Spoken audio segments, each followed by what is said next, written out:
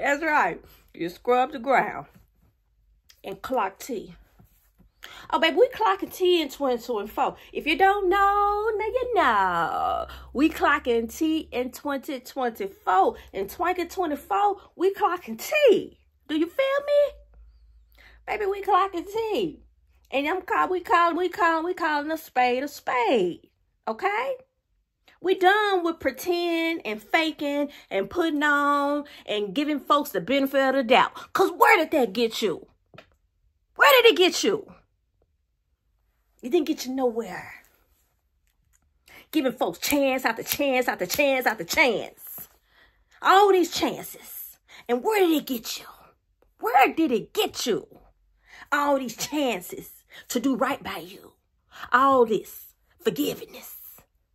I tell you, and I will forgive. Honey, I forgive 999, 99, seven times, 77 times. Because that's what God commanded me to do. But I'm going to clock tea, baby. Oh, I'm going to forgive you. But if you think I ain't going to speak my mind, you thinking wrong. If you think I ain't gonna scrub the ground, you thinking wrong.